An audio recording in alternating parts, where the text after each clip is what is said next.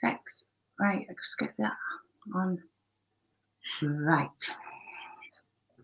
There you. So it- just for, for a few coming on.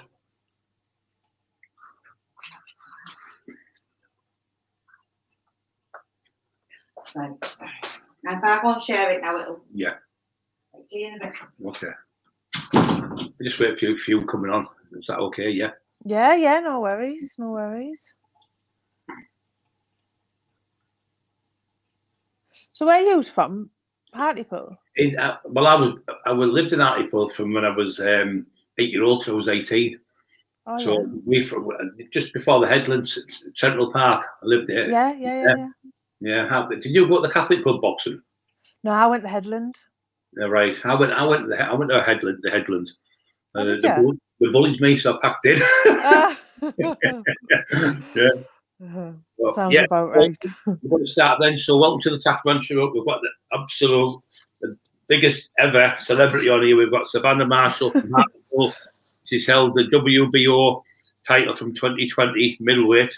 Uh, she became the first British female world champion in the championships. Uh, she's got the record as best active female middleweight. Savannah is the only boxer to have defended defeated Claressa Shields. We'll talk about that. Um, and you got a gold at the Commonwealth. Uh, Savannah, can I just what I usually do because you're from Hartlepool when I'm, I'm there for myself? Can we go back to when you were a little kid? What was it like um, at home when you got any siblings and that? So, um, I was born in '91, so I'm Right. a '90s girl. Um, I've got an older sister who's 13 years older than me. So basically, she kind of like helped bring me up. Right. I've always been really close to my sister, and I've got a younger brother who's 18 months younger than me. Right, So, and I, I'm from I'm from um, Millbank Road in Hartlepool, which it's quite a- a rough area of Hartlepool. yeah, So, um, growing up, uh, no offense to Millbank Roaders, but my mum would never ever let me go off the, the front. I I could never go up the top of the street. I always I wasn't I wasn't allowed to go halfway because she, she didn't want me um getting into trouble or anything like that. But I was always sporty. I always Right. loved football, netball, and playing out things like that. Um, there's no no one in my family's ever boxed. No history of uh, boxing. How, did you become? How did you think I would have boxed today? Well, I didn't. To be honest, looking back, I used to bully my brother. I used to always be fun fighting with my brother, winding him up, um, that type of thing. And um, one of my neighbours, actually, a- couple of doors down, he used to box. Right, So I always remember him going to the Headland gym. He used to go on his bike and I'll go and call, I used to go and call for him and his mum would be like, oh, he's gone to boxing. So that's how the interest come about. I remember thinking, ah, I want to go and try this boxing. yeah, So literally, it was just you know going because a friend used to go. It wasn't.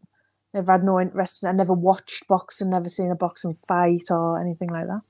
So when you first went to the gym, were you nervous going in there? Be- Being a girl, obviously. Yeah, well, because there was no other girls there, I got a couple of my girlfriends to go with me. Right. So I think there was about three or four of us went. Um, and the coach, Tim Coulter, he was very strict. I always remember him like half shouting at me and being like, "Well, if you've just come to mess about, you can just leave now." And I Mm. remember thinking, "Oh, they're strict in here." So anyway, I'd went in with me, my four friends, and we did one session, and they never ever went back. Right. But I, I loved that session. I loved it. Did you put the um, gloves on, or did you just do the sit-ups and press-ups and stuff? it was all yeah, Yeah. it was Yeah. all the conditioning so Yeah. i'm very competitive really competitive but i love the whole who can do the most press ups in a minute yeah, who can i love that that side of it yeah, yeah yeah, yeah. I'm, I'm the same. Yeah, but when you go in, you just all you do is the skipping. I think they give you that little tester thing. yeah they do. Most people just pack it off the first session, doing it's too hard. yeah. As you know, it's the hardest sport in the world, boxing. There's no other sport harder than that. So, when did you first? Um, when did you put the first put the gloves on? When did you? When you? When was your first sparring session? Can you remember that? so i wasn't allowed to spar for months Right. um, and i think it was because i was a girl And Tim now even admits that he didn't want me there. he just he didn't want me. He didn't want me there. Um, he seen me as a bit of a hindrance, Right. and he, I think he kind of hoped, you know, she'll lose interest in a couple of months, or she'll get punched in the nose and she won't want to come back. But I remember my first spa, I just absolutely loved it. I just, you know, I think I got hit and I just come back Right. Yeah. It was kind of you're going to hurt me, I'm going to hurt you harder type thing. Because you've already done the sparring with your brother. Yeah, exactly. I think that's where it all stemmed from. so your brother became a punch bag to get you yeah, yeah. Well, he always says, people always say, well, why didn't you ever box? And he always says, well, when your sister used to beat you up, you're not going to be much of a boxer, I guess. Yeah, So you stuck up for him, I suppose, as well. Yeah. Yeah, yeah. So, so when did you? When was your first fight then? As obviously as an amateur. So, um, Now, just two seconds, just before we go. What did your family think about your boxing? Your, your mum and dad about everything? well, to be honest, I, I was always involved in every, every. I used to do loads of sports. So I think my mum just thought it was a phase. And I must have started about the October time because I remember asking for a pair of gloves off my mum, and she was saying, "Oh, we'll just see. You might get a pair for Christmas." But she must have just thought, "Oh, she'll lose interest in a week, so I'm not going to buy you no gloves." Yeah. Anyway, I'd lasted till Christmas, and she bought me a baby blue pair, bright baby blue pair. Um, but my dad, my dad used to work away a lot when I was younger. He used to, he was a roofer, and he used to always go Yeah. to London. And uh, when when I was young, I could never ever really remember my dad being there. So it was Right. only when I started getting older, 16, 17, boxing for England, that's when my dad really, um, really got interested in it. Right. But um, yeah, What- they were they were bothered. Nothing nothing ever got said. They were just happy I was involved in something. Right. What was it like um, your first fight? Because when I, I used to fight a bare knuckle, obviously it's a different sport, but you're still nervous in it no matter where you go. I used to say every fight I had, I had fear and I had the nerves and butterflies when you were going for the Mm. fight. And people, oh, but Cus D'Amato's, as Mike Tyson says, the, the coward and the hero still have the same fear, but it's what the coward does makes him a coward, and the hero does makes him a hero. I always, I always say that you have the nerves and butterflies. But how, how did you get over that? Because you were a little bit, a little bit shy, weren't you? Um, well, I had my first fight at 12 and I, I was a big girl. I was, I think, to be honest, I don't think I've grown since I was about 14 and I'm, I'm just under six foot now. So I think my first fight at 12, I was 60 kilo at 12 and there wasn't a lot, there wasn't a lot of girls about then anyway. So I was really hard to find a fight. So my first fight was at 12 and it was in the Borough Hall on the headland yeah, and I wasn't scared for the fight. I was more scared and nervous about Yeah. everyone watching me because I was so shy and quiet. The fact that everyone was coming to see you, yeah. that's what the nerves were for for me, not the mm. fighting. Yeah. The fact that every was going to be a room full of people watching you. I remember when I was boxing, you, you, you, you, seem to be peeing every five minutes, going to the toilet for the nerves. Yeah, yeah, I was. I used to get, I used to get a um, Yeah. a, a nervous rash, me. right, It used to go right up my neck, all over my arms, my hands. Yeah. yeah. So when you had the first fight, did you win? Yeah, I won. I, um, I won that. And then we had a return on the girls' show in Birmingham. So that was when I mm. was 12. And then I never boxed, I never fought for two years because there was literally no one for me to fight. Right, So, and then this is the this is the times in my career where I think I've really progressed because I love training so much. right, I went to the gym. We used to train four times a week at the Headland, and I never missed a session for two years because I loved the training. But I never boxed. But Right. that wasn't an issue for me. Whereas you get some fighters where if they're not fighting or if they haven't got a fight coming up, they won't be in the gym. Yeah. I think you're better to train all, t- all the time. I, I think Yeah. now and then a month or so, but I think you better train. When Mike Tyson was fighting every six weeks, so it does prove that you can do it, doesn't it? Um, fight fit, as they call it. But uh, so, how, how many amateur fights did you have then? So in total, I had 118. I had so, Right. um, as domestic level because I, I had a lot of internationals boxing for England. So that's when it goes up because you'll go to a tournament, you'll box four or five times in 10 days. Right, So domestically, I only had about 26 fights, which isn't a lot. Um, and I think I'd won my first 24. Right.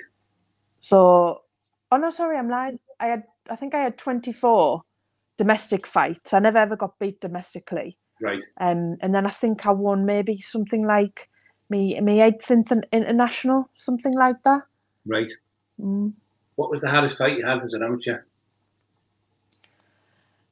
Looking back now, I could honestly say that so I had 118 and I got beat 15 times in the 118, and six of them were to the, the same girl. She, it was a Dutch girl, Right. and it was kind of my kryptonite hairstyle. She was taller than me, very rangy, and I, I just felt I thought with them six, I think I'd won one and she'd won five. Yeah. and um, I just felt like I could never get away with her style. Her style was just dead awkward for me. But looking back now, I can't say there's there's any fight that stands out to me where I've walked away and thought there was nothing I could have done there. Yeah. I always felt like it was me that lost the fight rather than I was beaten by the better boxer. Right. What was the Um, transition then when you when you went from amateur to pro? What was the difference? Um, so like, be, Yeah. yeah. being international, I was very bouncy on my feet. I had my hands up around my temples, I- forwards and backwards in straight lines. No real power punches because everything was dead fast and throw as many shots as you can in the in the two minutes. Yeah. So when I went got with Peter, it was just a total Is- is overhaul. Peter Fury, sorry. Yeah. yeah, Peter yeah. Fury. So he was. He, I went with Peter when I first turned pro Yeah. and he just he changed everything about me. I remember being on the pads with him, and I remember him saying, "Put your hands down," and I was like, "Oh, I can't do that. I'll get punched in the face." He's like, "No, put your hands down," and he literally had me in the mirror, oh, for months. I, I dare say about six months, doing the same two-step footwork, having my hands around my waist, and there was times I remember looking in the mirror and thinking, "God, you are crap. You are gonna get punched all over." And then in the end, I was thinking, he's the only one who's offered to help you. Just listen, just do what he says. And I kind of just went into this subconscious mode of just, Yeah. just do it, just do it. So how did that come about, Peter? Did he see you box somewhere as an amateur, or did he did he come to you? No, no, no. So literally what it was, um, I'd done Rio 2016 and it was my second Olympic Games and um, I'd come fourth again. So I've got two fourth place certificates in the Olympics. Right. I'd just missed out on a medal and it, it, it left a bitter taste in my mouth. I'd totally fell out of love with the sport. I didn't want to do it anymore. It'd become more of a job Right. to me. So I was going to walk away. I was going to retire after 2016. Um, then anyway, a- um, someone had contacted me and said, "Oh, Savannah, Mayweather Promotions want to sign you in America." And I remember thinking it was, "Oh, you get your own own apartment, your own car, move to Vegas." And I remember thinking, "Wow, someone upstairs doesn't want me to quit." Um, so that was that. Before that, Savannah, you were going to quit. I was going to retire. Yeah, I was going to retire. did he see your box? Where did he see your box? Where did he get to? I, need, I would like to box for me. Well, he was in he was in Rio for the Olympics. I think right. he'd seen me then. Right. Um, so I think that's how that had come about. And obviously, I was going to retire, but I've decided to turn pro. And the guy who actually set the whole deal up for me is a guy called Sam Jones. Now he's made a big impact on pro boxing at the minute. He's Joe Joyce's uh, manager. He's he's a promoter now. He's doing really well. And I was actually his first boxer. Right. And I remember messaging him uh, something like six, seven weeks before I was meant to go to Vegas for my debut and saying, Oh, look, Sam, I've never ever bo- I've never ever trained with a pro coach. I don't know anything about pro boxing. You know, I've, I'm, still training with Tim, my amateur coach. And he'd messaged me, said, Oh, well, look, Joe Joyce is sparring Hughie Fury in Bolton. His dad, Peter, said that you're more than welcome to come along and he'll take you on the pads and show you some little pointers. So that was actually how all that come about, just Right. by chance. What was Mayweather like? Because for me, I used to love Muhammad Ali the best, but I think Mayweather, what he's done, the 52 fights, never been beat. He's- just unbelievable. He's so elusive, and they always say the good looking boxers are the best because they don't get hit. Like, Mhm, yeah. yeah. that, like Sugar Ray Leonard and that. So, um, what was it like meeting him? He must be an awesome man, isn't he? To be honest, I only ever met him twice. Right, and within that twice two that two times I'd met him, I was barely in his company for about the first time was at when it got announced, and he was too busy arguing with someone. He didn't really acknowledge me. And the second time, it was at a Mayweather McGregor press conference, and it was a really surreal moment. I was in his dressing gown and uh, dressing gown. I was in his dressing room, Right. um, before he was about to have this press conference, and it was filled with about twenty women, and I was just sat there, and he was sat in the middle of the room getting his head shaved, and you could have heard a pin drop. It was weird. It was really weird, and still then he didn't acknowledge me. And Yeah. um, whenever I was in America, I don't even think he knew my name. He used to just call me the English girl. So I don't know if that's him playing hard to get. Wait after you. Wait after you. I'm telling you. I Yeah, don't- so- yeah. What was the first pro fight then? What what was that like? Then, Uh, like, obviously, we're doing a lot more rounds in pro. Can you explain to the people who don't know much about boxing?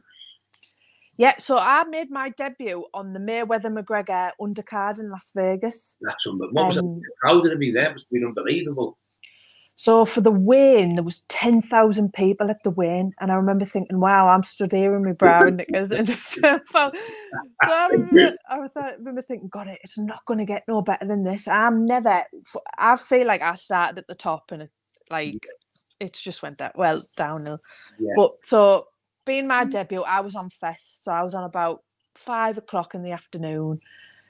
And this is what people don't realise. So there was about 100 people in the arena in this 26,000 seater arena. My mum and dad were three of them.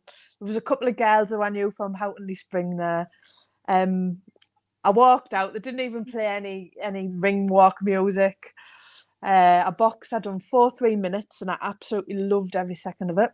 Right. And then when I'd come out, previous to this, I got given three tickets uh, Right. off my manager. So Yeah. for me, straight away, mum, dad, sister, there you go, there's a ticket, come watch me box. But bearing in mind, there was about 15 of my family and friends come over and they couldn't get in. So they had to watch you know, in a hotel or something. Yeah. Um, so then I've boxed, I've gone in the change rooms, had a shower, got changed. The next thing, some bouncers turn up, oh, have you got your tickets? I was like, oh, I've just boxed. No, no, no, you need tickets. So I'm ringing my manager saying, oh, look, I'm getting chucked out here. And they were like, oh, well, I give you three tickets. I went, no, for me, for me mum, dad, and my sister. He was like, no, they were for you and your two coaches. So literally half an hour after our box, I got kicked out the arena. So I didn't even see That's Mayweather McGregor. That's unbelievable. That. You So- could you could write that script on us. It's unbelievable. Ah, so What was it I like remember, when you had the fight, Savannah? People say to Yeah. me, "Well, boxing, and boxing." I mean, you don't. You're all waiting and waiting and waiting. Once you get in there, the bell goes and it's over. The fight, it's gone. But then you, in sec- you think it's gone in seconds, but you've had four, five, six rounds wherever you've boxed. yeah, You just want it to keep going on, don't you? But before you get there, you're like all nervous. I mean, but the bell goes, different place, and it's your ground, and you, yeah, it is. you it's different. people, But you don't hear the crowd enough, do you? You just you can hear them, but you don't, you don't, listen to them. Do you? Just No, you zone out. You just in yeah. Sometimes it's a lonely place in that ring, isn't it? But obviously, where you fight, it's not. But I can't believe you got kicked out. You know what I mean? Yeah. So me, me, me, I remember I was on the phone to my mum and my sister. yeah. They're not interested in boxing. My dad loved it, but they weren't interested. And they were like, right, well, we'll come out and we'll give you the ticket. And anyway, the, the security said, no, you're not allowed to do that. And I was saying to them, no, sit. They were like, we're going to walk out. We want to be with you. I was like, no, you sit there and watch that fight. It's the fight of the century. So they sat there all night, absolutely hating it. Yeah. So what? What was um? What? What, what was the when you won the belt? What was it like winning the belt for the first time, to fighting for the world title? How hard was that fight when you won the belt the first time? Was winning Um, the first time harder than actually holding? Because some people say win it's hard, but to keep it's even harder. Would, would you say that's right? Well, for me, what so I was on the GB squad for for eight years. I done so basically you're lottery funded, so you're funded by the lottery, so you get a wage. It's tax free. Right. Um, you get all your petrol for paid for, your accommodation, your food. You get looked after. You're with Bupa, five star everything. Then when you turn pro, you basically it's like you're self employed you have to pay for everything yourself medicals all sorts sparring so it was a bit of a shock to the system for me and also i didn't realize how much pro boxing is a business Yeah. it is a business. And even now, I love boxing, but I despise the business side. I think it's disgusting. And I had my world title fight with Hannah Rankin in 2020, the August. Yeah. And for me to get that world title fight, literally when I turned pro, Brian, I, I remember thinking, right, I'm going to box for the British. I want to box for that Commonwealth. Uh, I'm not too fussed on the European because I don't like the belt, but then I'll box for the. And it is not like that at all. Right. You have to battle and get yourself in a position to fight. And then nine times out of 10 people don't want to fight you because you haven't got a belt yourself. So you're a lot of risk, low reward. So just getting to that position to box for a title, it, was an uphill battle for me for years. Right. So you, how long did you before you fought for the title then? When you turned pro, how long was it? What were So- you were you ranked high up then when you were were you want, wanting to go for the belt? What? Um, so yeah, uh, well, no, not not even that. So in the in the men's, you have like um, yeah, you have rankings and you get yourself in positions where you're mandatories. But in the women's, because the pool of women is so shallow, you could be mandatory. Like one of my best friends was mandatory for uh, Katie Taylor's WBC belt for four year, and she never got her shot. Yes, So it's just it, it it's not worth anything in the women's. You could get yourself to number one unless you've got a promoter behind you backing you with money. Then really, you don't really stand a chance. So how did you get that shot for the um, title then? So I got that shot um basically through Peter, through Peter pushing me and pushing me and you know telling me, look, you'll get there, just keep training, it'll happen for you. And eventually it did happen. Um I was with Hennessy Sports Channel Five. I left him and went with Eddie Hearn on Sky. Right. and I'd I was at the point where I was ready ready for a title, but not a lot of people would fight me, like I said, because I didn't have a title myself. I was a big puncher, so why would you want to fight someone who could potentially knock you out? Um, so then, um, my on my for my world title, my opponent actually got paid a lot more money than me, even though it was my show, it was my promoter Yeah. um, they were meant to be in my corner. My opponent got more money than me But you've done that obviously. You you to get that chance. you're Yeah, for nothing if you could get the belt. The belt means exactly. Yeah. So what Yeah. was the racing like when you won that belt? How what was it like when you won it? Did it take a long time to sink in, or were you just like, I've done it, I've done it? No, for me, it was just like right there. I've, I've finally, finally, people have been, people have been able to see how good I am. People, Yeah. I'm finally getting the recognition I, I, I deserve and I've worked so hard for. Um, I knew I was world class. Right. I've always known how good I am, but the hardest part for me was for people to see it. Yeah. And then, like I said, I, I- I got on the platform of Sky and I got given a world title shot, was- and what- that's that's what, what made was it. Eddie, Eddie Hearn's like? What was he like? As a, a Um, I, I think Eddie Eddie's very good at what he does, but Yeah. for me, Eddie's got a lot of fighters, a Yeah. lot of fighters, and I think he spread himself a little bit too thin. Um, I think he's got he's definitely got his favourites, yeah. and I think if you're not one of them favourites, then you're not gonna, you know, you're gonna have to. like you said, you put the, hit the nail on the head. It's not just a sport; it's a business. It's a business, yeah. Mhm. exactly. It's a business now. Years ago, it was totally different. People would fight for the country, be up the mountain winning, but now it's, Yeah. it's, it's a money business, isn't it? It So is, it is, it is. What what happened after you won the belt? What was the next stage? Were you thinking? I've got this belt now, and obviously, you've got- who- who's the next person you fought for the belt? Um, you. So obviously, um, at the higher weight, Claressa, Claressa's won, won three times world yeah. champions. So I'm not, I'm not. What favorite no. person there, isn't she? so obviously, it, it, it's a business, and Yeah. Claressa's the biggest fight I'm ever going to get at these higher weights because there's nobody, there's nobody there really, especially not with the profile and what Claressa's done. So I always knew that built properly, a fight with Clarissa could be massive.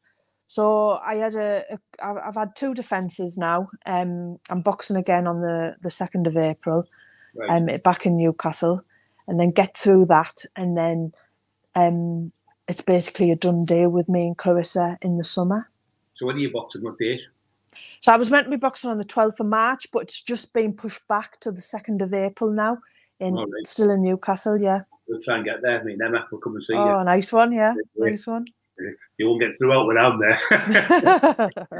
yeah. So what? So you, you the Claressa one. You're the only one to beat her, aren't you? Uh, yeah, so I boxed Claressa in 2012 um, in a in an amateur tournament, Right. And then it just so happens that we never ever crossed paths again. She went on to win everything, and I always seemed to get beat. You know, a couple of fights or the round before Claressa, so that fight never ever happened again. Right. So is that going to happen that fight with her then? Do you think? Yeah, like I said, I, I'm boxing on the second of April. I've got a tough Right. test and get through that, and then do you know it's basically a done deal with me and her. Right. Do you, do you, what what confidence have you got to win the fight? I'm I'm very confident. Um. I'm under no illusion of, No. of you know how good how good of a fight she is, but Yeah. I do generally believe that I've got what it takes to beat Claressa. And I, I honestly believe I'm a better fighter. Yeah. So what, what type of training do you do then for these type of fights? So just for people who don't know, like, Uh, so like in the telly you see them run at four o'clock in the morning and things like that. all that stuff. um, so I, I train twice a day, Monday to Friday, and then I train once on a Saturday. Right. Um, and I basically I spar three times a week. Right. Um, I do pads twice a week. Right. and I do I do a lot of strength work, me, a Yeah. lot of weights. Yeah. Um, and I'm not a runner. I've never ever been a runner. I just think I'm Um, I'm- I hate it. I think the most boringest thing going. What I used to do, I used to do. I, I read about horses for running on the flats, no hurt the legs all the time. So they they started running up banks. So if you, I used to sprint up a bank 50 meters and walk back down, sprint up a bank and do that. That was better. 10 sprints were better for me than doing 10 mile runs. Well, and- just uh, you've just said that. That's what we do. So every I was so doing that Peter, 30, 30 years ago. so Peter has me sprinting up. I do, that's what I do. Hill sprints. So Yeah, I do hill sprints every week. And if I was to run, it'd be for weight loss. So it'd be nice to slow, Mm. steady plod. But um, yeah, The hill sprints. as well is when you run up the hill, you're, you're actually on your, your shock absorbers like your calves. When Yeah, you're on the yeah. flat, you're two and a half to three times heavier when you're on the concrete. But when you run up the hill, because you're on your you're on your calves, on your toes, the shock the shock takes away all the, the stress on your back and lower lower Yeah. legs. So it's really good for sprints and high intensity interval training. But years ago, Frank Bruno used to train and Tyson went, "Ah, don't lift weights because they make you slow." But they don't. They do the complete No. opposite. High high heavy weights speed up your fast twitch fibers and, and Yeah. light and the opposite way. So my my coach when I I was boxing at the amateur club, uh, Lingdale, he said, "Oh, you don't lift them weights, you get stiff, you get too stiff." But all top sprinters, I mean, my, my, my friend Richard Kelly, the Olympic champion, he uses 400 pound squats to, to run. That makes you faster. But people who are lost in that in the old days think, "Oh, heavy weights are no good," but all the top Yeah, yeah. weights are done there. They do, but I'll uh, I'll be telling Peter about that that horse one. I didn't Yeah. know that. Yeah. Yeah, injuries running on the flat, but when they run up the banks, it, saved them because obviously they run up the banks, so that cushions the blow, you know, on the legs. yeah, yeah. Yeah, I, I was doing keep it years ago before I think anyone thought of it. so, some of my training things I was doing, it, they're only coming out now. Some of the stuff. So, Yeah. So what what what is the money like when you win the belts and things like that? Is it good money for the girls or is it not good? Um, not really. Uh, Mm. so put it this way: if I was a man winning a world title, Yeah, I'd be a couple of hundred grand. right. Um, as a woman, it's you know it's it's not a patch on that. It's not a, a fraction on that. Yeah. Um, and the money you spend, obviously, for yeah, that, that's one thing people don't understand with boxing.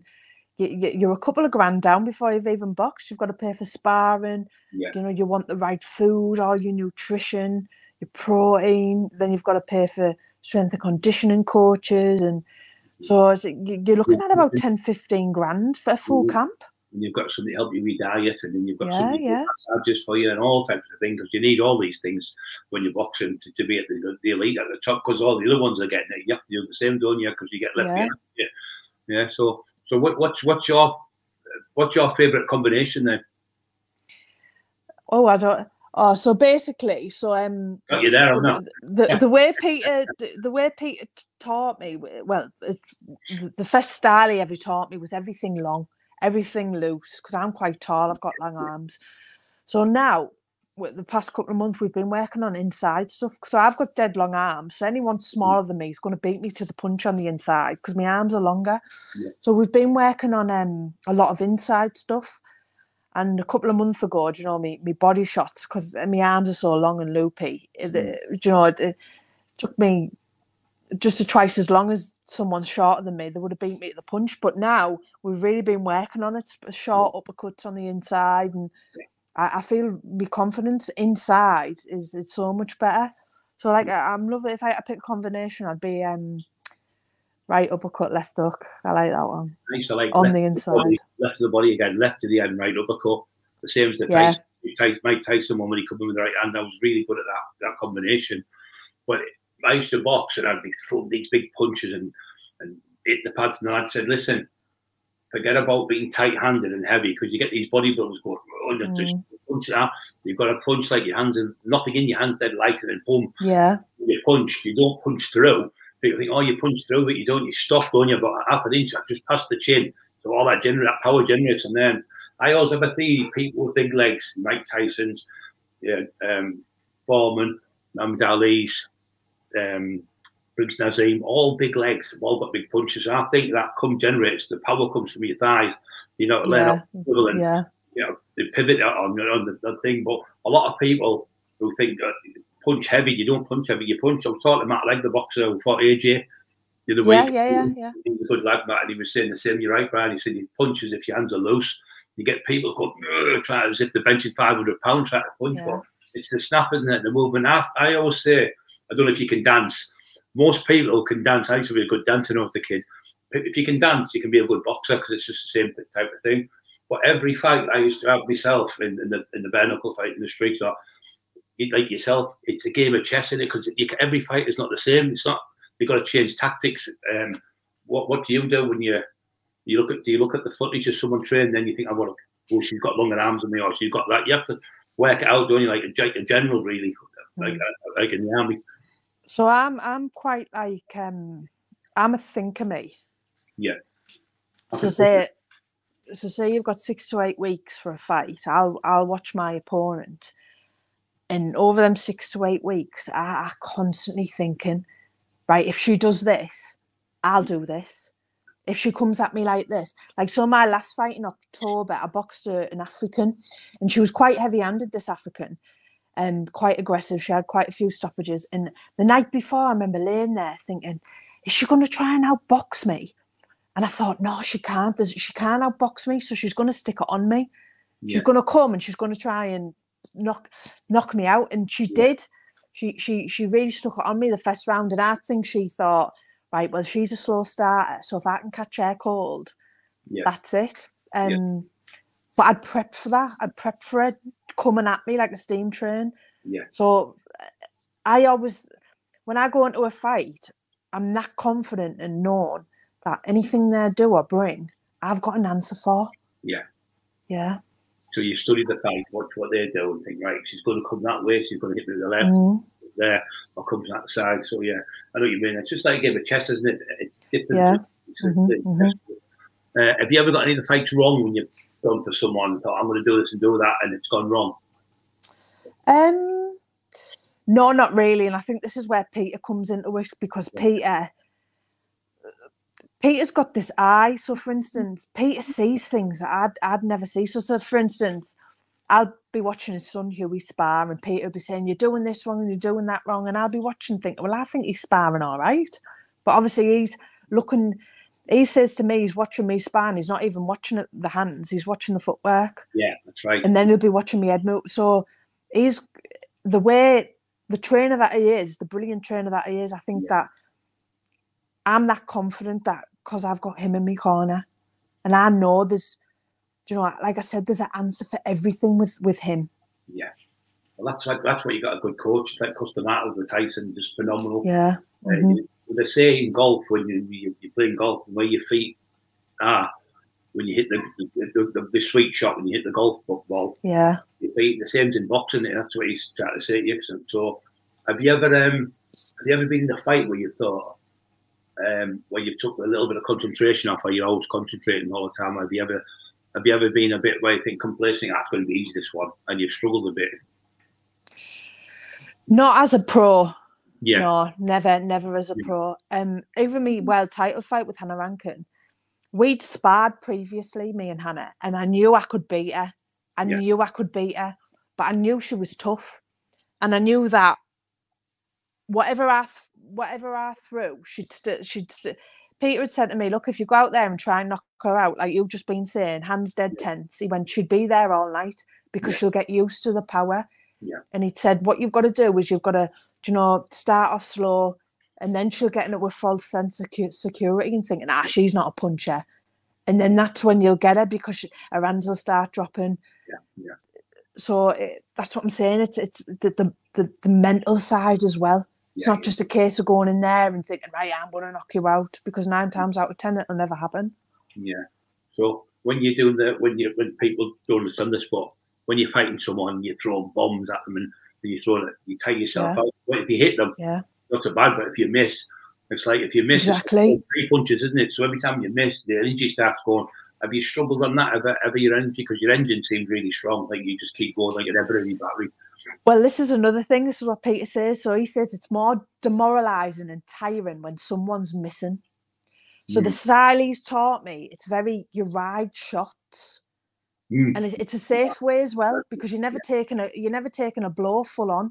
Yeah. So really, you, you, it's it's a safe way, and you're protecting yourself because at the end of the day, it's a dangerous sport. Yeah, of course it is. Yeah. And riding the shot as well. There, there. When you throw the punch at someone, you hit them there like that. It stops. But when you're riding, the punch is going. They're, they're having to throw the hand further away from you. Yeah. Yeah. you, sorry. And when you're moving back like that, they're using Mhm. more energy, so then you're tiring them out. And then you go to the body, don't you? You drop the hands type of thing. So Yeah. what body shots like? I've, I'm good. I've got I've got I've got a good body shot on me. Um, Yeah. but like I said, the the style all comes from. Do you know? Mm. There's even sometimes I watch myself on telly and I think, God, that. Do you know? If I was fighting me, I'd think, look, she looks slow and she doesn't punch, but it's quite deceiving. It's that style of being loose and rela- relaxed, and you can go ten rounds. Like you said, if you're tensed up, Yeah. trying to knock someone out, you last three or four rounds. Because your adrenaline kicks in. Then once your adrenaline kicks in, you spent. I've seen loads of fighters, loads of top.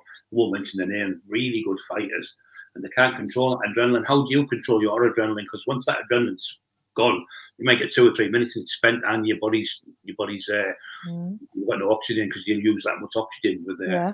And Yeah. so you keep that out. out. In the amateur, did you struggle at it until learned? Um, definitely. I I really struggled with my mind as an amateur, um, and it was more like I said, my first fight. I was more nervous for people watching, and as I went to tournaments, I started winning world championships, Europeans, and Yeah. getting to the Olympic games and being the number one favorite. I literally couldn't handle the fact that there was hundreds of thousands of people thinking I was going to win. I couldn't handle it Right. and it was uh, just an awful feeling for me. It was just a very, like I said, I couldn't handle it at all. And then when I turned pro, I can honestly say, Brian, since I've been pro, I've never been nervous once. right. Is And that, is that probably because the likes of Peter and like, oh, oh, you know, they're they're, they're I- there with you. I think so, but I also put it down to I always think I was never meant to be here. I was never meant to turn pro. So for me, all this is just a bonus. This is the, so just enjoy it, and just by thinking like that, honestly, I get so excited. I'm sat in the change rooms thinking, "Oh, come on, I can't wait to get in there." Whereas an amateur, I used to think, "Oh God, can't wait this is over. Ten minutes and it's over." Yeah, and it's crazy how just just the little twinge of the thought and your confidence just goes through the roof. mm, you do, yeah. And you can beat yourself up. You can be in bed and you go, I remember I used to, I'm, I'm going to beat him. Yeah, but he's a pro, he's a pro boxer. Yeah. And then the other voice will go, yeah, but you might get caught with a jab. And I'll just close my eyes, I'm trying to sleep. And the one saying, yeah, you've got to win. The other one's going, no, you can't win. It's like you've got Mm. two voices in your head, isn't it? You, Yeah. you struggle with that? As a pro, honestly, no, Yeah. I've Yeah. never. I never get no nervous rash. I never get any. I never get anything. It's more. It's just pure excitement. Can't wait to show you all what I've what I've done, how I've trained. It's yeah. Do you think what you've conditioned your mind more? As that was probably is like you have to win this. I know I can win this. I'm the best pro. I used to say I can't be beat. I won't be beat, and I refuse to be beat. I used to keep saying that to myself every time. Yeah, yeah, Will you beat him? Will you beat him? Will you beat him? I'd do all this stuff until I'd program my brain. I used to get pictures of the person and put it on the wall and I'd be in the bag.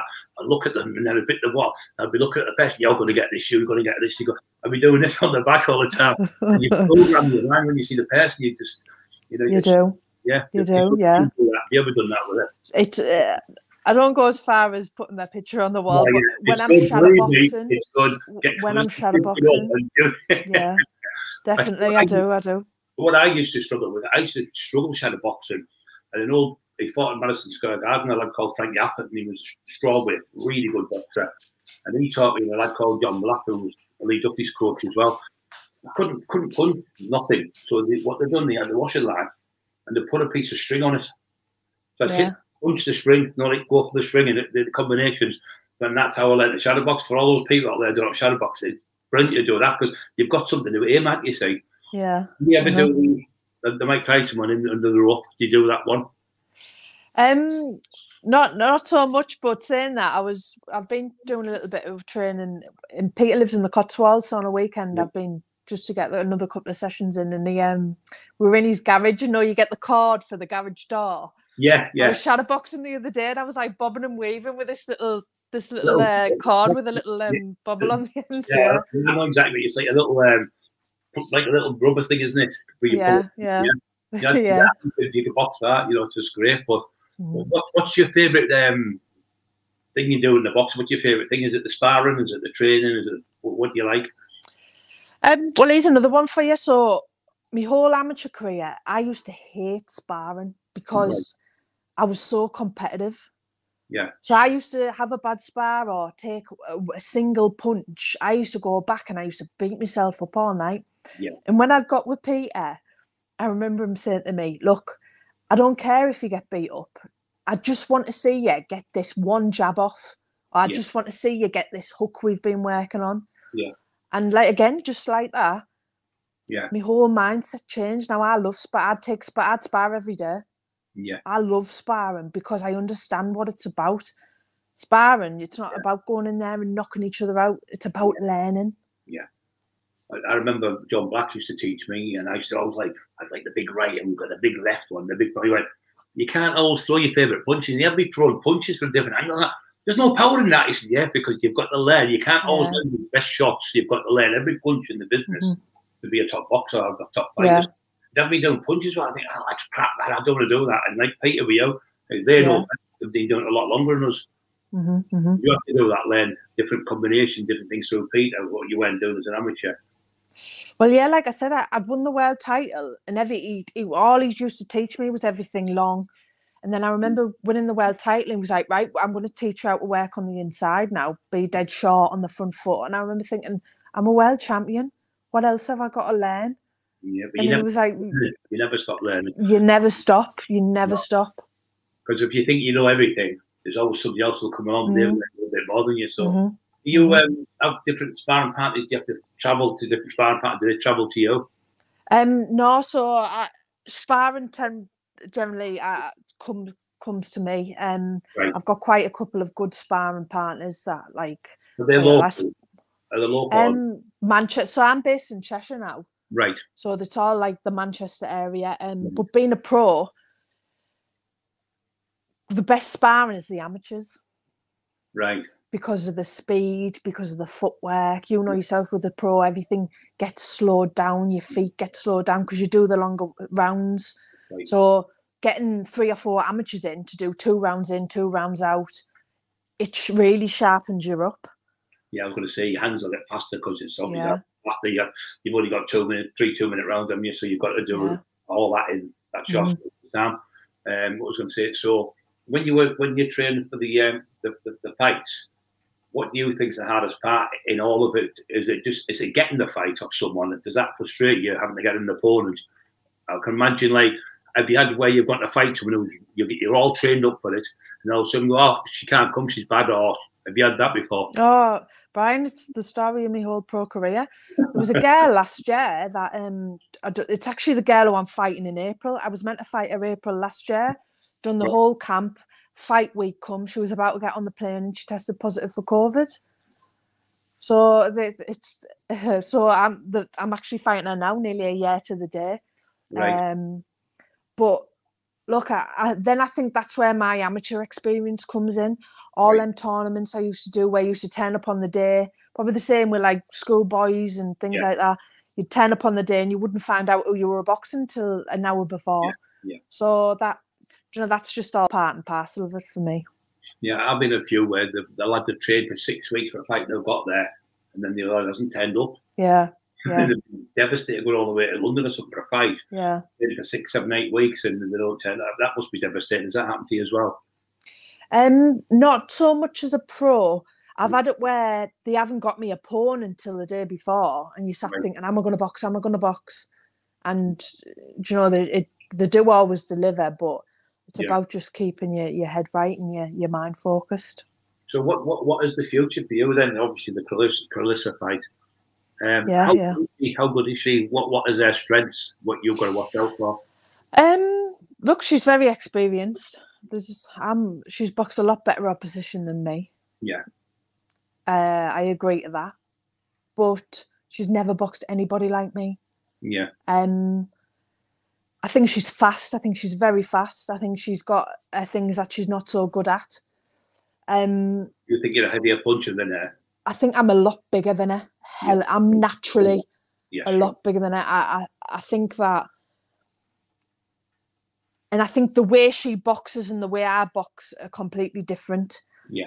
I think that, do you know, when you've got someone in your face throwing light shots, moving, slipping and Yeah. sliding, and I think the way she is, a temperament, I think she's quite easily wound up.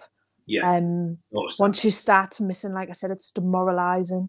Um, but it's going to be a massive fight, a massive hard fight for me. Like I said, I, I know what she's good at, I know what she's about. She's world class. Yeah. Um, but I do, I'm just that confident in my ability. Yeah, class as well. You've got to remember that. Oh well. Yeah, yeah. I've got the belt to prove it. Yeah, Exactly. Prove it. Have you got the belt with you? it's in the gym. All right. Uh, it's in the gym. Yeah. we'll get the belt off you. So, um, what I was going to say. So, so what what are you doing now? Then at this moment, are you just getting ready for the fight in April? So, like I said, the bit you were saying about do things ever get cancelled? So obviously, I was meant to box on the twelfth of March. I did a, I did I already did a seven week camp. So I basically train full time. Every I don't have time off. I think I have two weeks off after every fight, and I'm straight Mhm. back in the gym. Yeah, yeah. Because for me, that's how you learn. That's how you improve. Yeah. Um. So I've already done a seven, eight week camp, and then it's been pushed back again to the second of April. So I kind of had last week took my foot off the gas, took me just ate what I wanted. So I'm Yeah. basically back on it, back sparring this week. Um, so I'm I'm just just back to you know training training full on now, really till the You fight. know, you know when you're saying you're stronger than her and you you're bigger, people will understand. I understand it is when she goes in the weigh-in, she's some people go in the way and then they'll say they're 12 stone, but the, is it two days? I think you've got when you're eating after it's a one day 24 Uh, I think it's 24 hours, yeah. hours. Is that 24 hours? You put five six pounds on, can you? And- and Yeah. weight. mm, So you're mhm. the person you'll strip down, then you'll put five or six pounds on where she won't be able to do that. That Yeah, do yeah. about the 20, yeah, 'cause you're going to be bigger. Yeah. So I, 12 stone, for instance, when she comes, she might be 12 stone two, you're going to be 12 stone eight, maybe. Yeah. So Yeah. I, I have to boil down to middleweight. Yeah. Um, you struggle to that, getting down because of your size. do you know what? Because I do it properly, I Mm. don't. And Right. that's what makes me think, could I make super welter? So Right. I, I had all tests done, all body fat tests and all stuff like that. And it would basically be a damage to my health, which is good Yeah, oh, yeah, for me to do super well. So I know I'm at the right weight with middle. Yeah, because you Um, can see boxing do that and they've gone down too far and they've died in the ring because they've died. yeah, Bodybuilders have got the wrong stage and they've got that, the, low, the body fat's that low. It's a danger to the body, isn't it? Yeah. It's down your it's the it's the dehydration, the hot baths. Yeah. And then, then you're damaging your health. because That's how Mhm. knockouts and things, no Yeah, water on the yeah. brain. No, no, that's not enough water for your kidneys. and Mm, mm. You day and you see them in the saunas and they're going in and Yeah. exhausted by the time you've got that weight down because you could be too heavy. Some boxes have been too heavy, and when you're too heavy, I'm, I'm I'm surmising you don't go too heavy because you can get the weight off easier. Some people just let themselves go down the boxes and then you have to lose two or three stone, which is really hard to do, isn't it? That really, Well, it was like uh, it was like Ricky Hatton. So Yeah. Kerry Kayes, you I don't know if you know him through the bodybuilding. yeah, Kerry Kayes, I did So- all the so- just there. Yeah, yeah, yeah. So yeah, Kerry yeah. just my Kerry's my strength and conditioning coach. Yeah, well, he's he had a doctor before with Dorian Yates, and Dorian Yates used to kept killing Yeah. used to go around and talk about me benching six hundred pounds and that, and he used to he used to talk about me in the gym with a lad called uh, Michael Flanagan. Yeah, Oh, I'm, I'm, I'm with Kerry tomorrow, so I'll mention it. yeah, I'll mention it. Well, But um, yeah. Talk about your weight. So you, if you your weight, what's the most you'll go up to? so we, I, so I'm, I'm still in kilos, me. So I box at seventy two six, which is the middleweight limit. Yeah. And I normally walk. I do a lot of my sparring at 76, 77 kilo, Right. um, which is what five, about 10, 11 pound, something Yeah. like that. yeah, eleven pounds. So then fight week, I, I, I tend to lose, you know, two, two, three kilo. Yeah. And then obviously I've rehydrated and I go back up to like 76, 77. So it's a So good what- 10, 11 pound.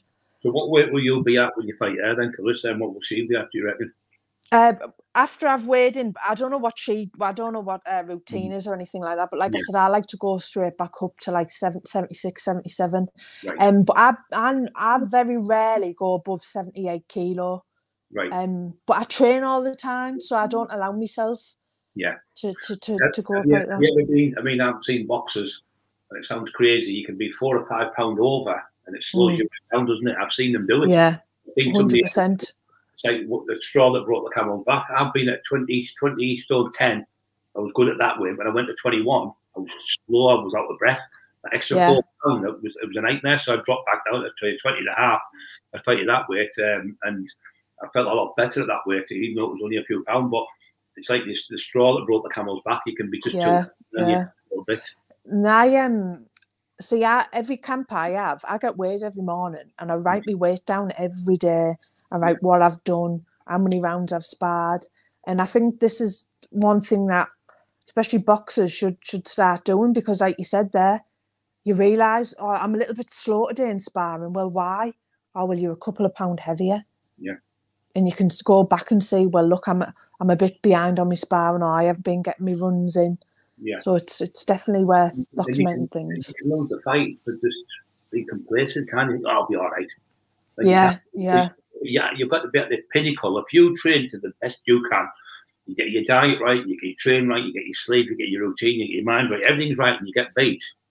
You can't, you can't win, can you? But if you sit Mhm. back, oh, I shouldn't have hit that Mars bar, I shouldn't have done this, I shouldn't have done that. yeah, Then you can sit Yeah. there, and, well, you can use that as the excuse, can you? Because got. You have to be at your game when you're fighting for a world title. You've got to be at the pinnacle, haven't you?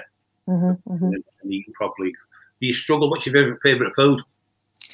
Um, I like seafood, me. Right. Uh, I'm a, uh, I'm like, I'm not a drink. So I don't drink. I'd, I'm a foodie, so I prefer to go out for a meal. Yeah. Um, but I, I like seafood. I like fish. So Yeah. I, I think I'm blessed in that way that I'm not um yeah. pop and chocolate type thing. Right. Do you struggle with any food? What you, what you eat? What should be eating at? Um, Not pizzas or like that or anything. No, not really. I like. Do you know what? I like lamb. So if I was Yeah, to have like some. I, I'd have an Indian. I like an Indian. I like yeah. lamboon. Lamboon. Yeah, I like. Yeah, Yeah, yeah. I like a bhuna. So do you miss the family? You go and come back to Hartley, go and see the family. Yeah, um, I normally come home like every other weekend, but Good. I haven't been home this year actually because um, obviously, like I said, I was meant to fight in March and Yeah. things like that. But actually, my mum and dad had come down this weekend, uh, weekend gone, and we'd watch the fight together, and so it's it's my friends come down a lot. So Right. it's um, And- yeah, but you know, you've got Skype and that. It's, it's a lot easier to keep see, it. it is, it really is. Yeah, yeah, nothing like that. so, so when when you're um when you're going for the next fight, is that going to be in America? The, the big title fight. No, no. So they're hoping to get it at St James's Park. Oh yeah, that's just Yeah. it? Yeah. Yeah, yeah, yeah. So Yeah. the reason for me, because I made my debut in America, Right. I'm not too fussed about it. I've kind of ticked that box, and also Peter's got a criminal record, Right. um, so Peter can't get into America. You'll let one know on that one. I get asked about all the time, and I'm like, oh no, um, can't go to America. And I, but I'd never go without him anyway, so it's just don't- an option I'm for not me. disrespectful to her or anything. I don't think you're going to get that with the Mayweather fight. You will be undercard. I don't to get that again. I don't think you'll get that again, will No, you? I don't. I don't. Ten thousand people and just Yeah. it. So you've been there in Vegas and everything. So you're going to be fighting in Newcastle. It's great. Do you, do you still spar with lads? Are you allowed to spar with men? Yeah, yeah. I've I've always sparred with men, always. Um, I've actually got a good sparring partner in it, and a girl at the minute. She's um, she's called Sydney. Sin, sorry, Cindy Nagambia, and she's from, she's from the Ivory Coast. No, she's from Cameroon, but she's she's over here now. She's an amateur, uh, Mm. strong girl, um, typical African. You know, loads of heart, non-stop coming. Yeah. Um, so I I tend to spar Cindy about once a week because it, it's although that I spar a lot of men, Yeah. they've got the physical advantages. Yeah. Um, Yeah. And there was, to be honest, all the years I've boxed Brian, I've never had no injuries or any like in, in- like head injuries. Yeah. But last year I got concussion from sparring, and it wasn't a single shot or anything. I Yeah. think it, I'd sparred on the Wednesday night, and then I'd sparred on the Thursday, and I don't think I'd had enough time to recover. And I took some heavy shots off some big lads. Yeah. And like I said, it was the first time ever I'd ever experienced anything like that, and it scared me. It really, really scared me, and it made me realise that look, I'm in a sport where potentially I'm getting hit off men that are ten times harder than stronger than women, and do you know it, it it just takes that that that one shot to totally change your life. It makes me laugh when people say, "Oh, I'd have fought Mike Tyson for their ten million. No, let me tell you. Yeah, yeah, I, was, I was training, I do 500 press ups a day, 500 sit ups a day. I was training three times a day, six days a week, run up hills like you. said, four o'clock in the morning, yeah, yeah. doing all that sport. I mean, so when you're fighting something like that, the, the abs are like concrete. The, punches they're throwing, when they're, when they're say 15 stone, there's 15 stone coming through that hand. When you're just throwing Yeah. a punch, it's only arm strength, mhm. Isn't it? Um, in- the sport, people don't realise how hard it is until when they've been hit with something like that phenomenal speed to something like Mike Tyson. It's just you couldn't get a blistering speed like that. It's, Mhm. you just can't get away from it, can you? I mean, that was a great fight the other night with um, Kelvin and Brook, yeah, yeah, marvelous fight, and at the end, that's why I love what boxing. Put their arms around each other and said, "God bless them" and all that. Love yeah, yeah, yeah. You, you Well, get Pip- that yourself in, in, in the boxing. You- When you've had a hard fight with someone, even if you get beat, you still have that camaraderie, don't you? Like, Yeah, definitely, definitely. Or even a hard spar. I Yeah. mean, people don't realise they just see the fight on the telly, but they don't realise the ten weeks of training, the hundred rounds of sparring, because hmm. that's that's the damage, the sparring. Yeah. Do you know, I know in the fight you have little gloves, but if you imagine how many times a week you're getting punched in the head from free sparring sessions, it's a, it's do you know, it, it soon t- tallies up.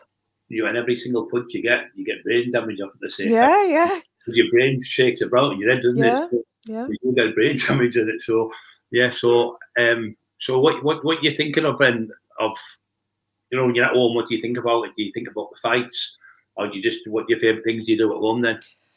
Um, yeah, so like I said previous, I, I'm constantly thinking, I'm con- thinking, right, she's gonna do this, I'll do that. So it's always subconsciously in my mind. Yeah. Um, but I've got two little dogs, Right. and I, I like I like going for walks. I, I, I do a lot of walking, just and that's my little bit of headspace. That Yeah. yeah, And when you're with the dogs and that, that takes away that thinking, doesn't it? Because you're with the dogs and you're playing with them, yeah, and taking a walk and you get the thingy. yeah, So does. anything else you want to talk about before we go? Uh, no, no, just um, anyone good luck or Peter or anyone like that? Just uh, and Pete, Peter is he still looking after you, Peter? So Peter, look after yeah, him. he is, he is, he, he is, yeah, yeah. Have you met Tyson and all the others? Have you met them lot? So obviously they, they they don't really they don't um Peter uh, Peter doesn't train Tyson anymore. Yeah, but when I first went to train with Peter, Tyson was there and it was the time when he he put all that weight on. Yeah. And I remember him I remember watching him and he had like it looked like he squeezed into his shorts and his top and he was massive and he was hitting the bags and I I just to be honest, when I start, went with Peter, I didn't know Yeah. anything about him. All I knew was he was Tyson's uncle. And I remember being in the gym and Tyson was there hitting the bags. I remember looking, thinking, God, you're the heavyweight champion in the world, and you, you're like, you're fat. you're massive. Um, But he didn't, he didn't he do well though, changing it around. saying, that's what I'm saying. He, he he's come up unbelievable. mental health, he took drugs, he admitted he took the steroids, all that stuff. He put his hands up and said, I'm sorry to everyone, and admitted Mhm. it. I thought it was brilliant because I do it myself with the mental health. I say I was on drugs, I got stuck on the crack, and I was Yeah, yeah, yeah. The depression went through the roof, and everyone I come out. And since I've done it, we've helped that many people by doing it. And people like Tyson, like Mike Tyson's done it, Frank Bruno, they've all come Yeah. out. Look, we suffered from it. Here's another thing that I think's wrong. Boxers like yourself, you, the world champion, that, and then when you're finished, you just get left. After Exactly, this exactly. experience Where you pay, like they pay for you, where you, after you've become a boxer, because that's why they all go down the, downhill, because they're used to being in the ring, sparring with the coaches, sparring with the team. You've got all that Mhm, mhm, mhm. all that time with them, and all of a sudden, all of a sudden, you just like, well, you've got nothing to do. So, Yeah. Gambling, you end up taking drugs. Do you think that's wrong? I think it's wrong. They should uh, do that. Yeah, well, you get institutionalized. Like Yeah. my friends say I'm institutionalized now because all I do is train, go home, get ready for the next session, go and that's and even when I've got a Saturday, Sunday off, I'm constantly thinking about what I'm gonna do on Monday. Yeah, And I do worry about when I retire, how yeah. am I gonna fill that void? I think you better Um, coach or something, maybe because you'd be a great coach, obviously. Maybe for the amateur team or something like that for Great Britain, I think you do really well because obviously you, you, you're at the pinnacle at the top. How long have you got left then to go before you retire? Well, when would you say this is it? I've had enough now? I've been boxing since the age of 11 and I'm, I'm 30 now, coming up 31. So I've boxed for a long time. Yeah. And like I said, Claressa will be the biggest fight I'll ever have. I'll never get another fight like that because of the rivalry, because of the background, England versus America. So I, I think once that's done and dusted, Yeah, and you know I'm happy with everything I've achieved. I, I I can't see no reason why I wouldn't you know happily walk away. But like I Mm. said, I love training, Mm. And if I still enjoy it and still love the sport and still want to get up on a morning and go to the gym, I'll carry on. Yeah. But some my old amateur coach Tim always said to me, one day you'll just wake up and think, I don't want to do this anymore. And he said that's the time when you have to think about your, your, your future in the sport because when you're doing something you don't want to do, like Amir Khan said after the fight, Yeah. I've lost the love for the sport. Yeah. Yeah. Yeah, I think, certain yeah. age, you get and you know, and you, you know you can't do it. Like me, somebody would say to me, "Who would be the worst fight you would have?" If somebody come to you and said, "Who would be the hardest fight you ever had?" I'd say Brian Cockerill when he was 26. Yeah, Yeah. Pardon me, couldn't beat him. And it's true, isn't it? You, you couldn't, you can't do when you get in your 50s. You can't do what you could when you were in your 20s. It's Mm. impossible. Time and time doesn't wait for no man or no wo- woman. So you have to come to the end of your career. And you just, I think when you retire, you should stay retired. You get these people. I won't mention the name. They've gone back and they've made fools yeah, for the money, yeah. just for the money. Yeah. They've fools. They've been never been beaten. World, world class champions, and they get beat off like Mhm. people who've never Mhm. been millionaires because they haven't got the speed. and They haven't got the. They haven't got. They don't train as hard. You can't train as hard. So I think when Yeah. you decide to stop, you should stop and not go back into it. Yeah, I agree. I agree. And you have the likes of Calzaghe, who did everything he done, and you know, you don't even you don't even hear of him in the spotlight no more. He totally walked away from the sport. Yeah, Too many fights, wasn't it? Mike Tyson, had too many fights. I think Yeah. once you're a legend, you've got to just retire and stay retired.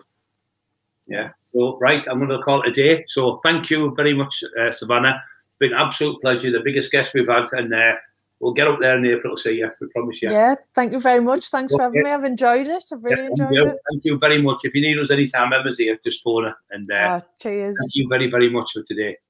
We'll have to Right, get thanks, a- Brian. a clue. Emma, I don't turn them off. Can you do your side? Yeah. All right. I'll see you later. No. Exit the screen and then end the broadcast. Good that one. eh? minutes. It was really good. Yeah, really good.